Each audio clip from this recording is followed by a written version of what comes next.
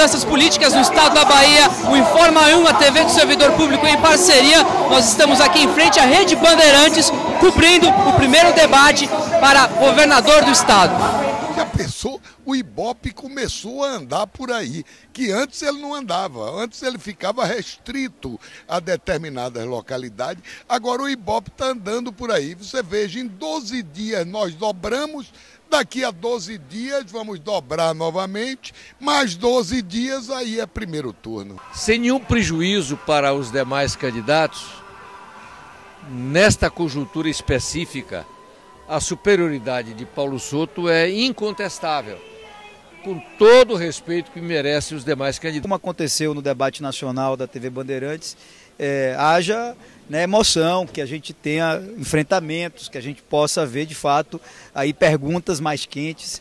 É, eu acho que é a expectativa do eleitor Bandeirantes mais uma vez saindo na frente, dando o primeiro passo. Eu acho que a campanha a partir de hoje ela passa a ter uma outra dinâmica.